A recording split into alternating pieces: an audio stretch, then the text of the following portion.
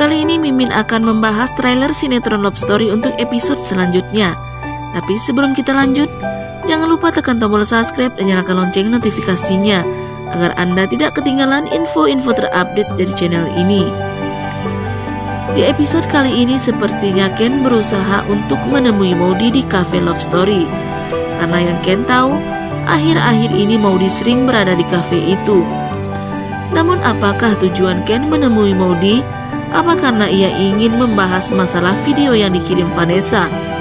Dan bila benar Ken ingin membahas masalah itu, seharusnya ia sadar. Begitulah perasaan Maudi bila melihat dirinya bersama Bunga. Maudi pergi menjauh dari Ken hanya karena ia ingin baik dirinya ataupun Ken bisa mengintrospeksi diri mereka masing-masing. Namun, apakah kali ini Ken mengakui kesalahan dirinya? Dan berusaha untuk memperbaiki semua ini bersama dengan Maudi. Saksikan terus keseruan ceritanya di sinetron Love Story dan Mimin akan update terus infonya di sini.